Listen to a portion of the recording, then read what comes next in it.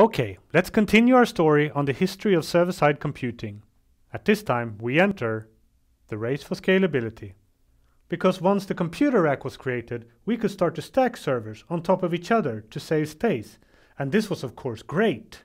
But now, another problem surfaced.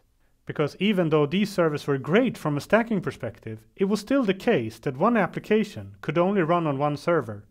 And this became a big problem because as the internet grew, these applications got more and more popular. And more and more popular. And more and more popular. And since there is a limit to the performance of one server, this architecture was not sustainable and had to be abandoned. The one application, one server strategy was a dead end street. And a radically new solution was required.